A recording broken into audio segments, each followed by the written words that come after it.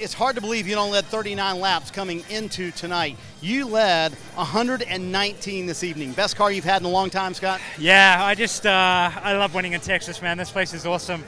Uh, always a big thank you to Eddie, Eddie Gossage and his team. They do a fantastic job. But PNC Bank car back in winner's circle, man. It's it's fantastic. The car was just stuck. I don't know, like whatever we did, the car was just nailed, and uh, it was a bit loose at times. But can't thank the team enough. You know, the pit stops fantastic. Emma's like, I haven't been to you know one of your wins for like three years, so uh, I'm so happy that uh, Emma and my mum are here tonight. So it's fantastic to celebrate with them. How much did the patience early pay off late in the race, Scott? Uh, you know, I think we, we kind of just bought our time a little bit. Uh, wanted to make sure that you know the, the Firestone tires were looked after as much as possible. Uh, they did a good job tonight. We we honestly went all the way to the end of the fuel stint which we haven't done that for a long time. So uh, super proud of uh, you know the whole effort on the team.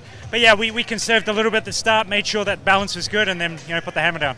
How about this third all time alone now? You pass Michael and some big names in front of you. What does that mean to you career wise and, and for what you've done in the series?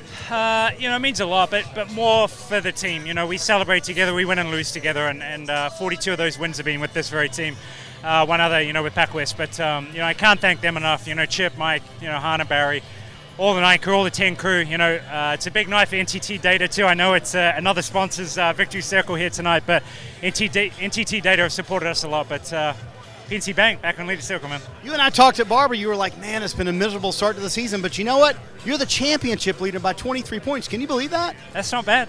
It's hard to hold. It's going to be hard to hold on to, though. We'll, we'll, you know, we'll see how the next few races go. But uh, you know, right now uh, the car's running well. We had good speed all season, and we just got to keep it going.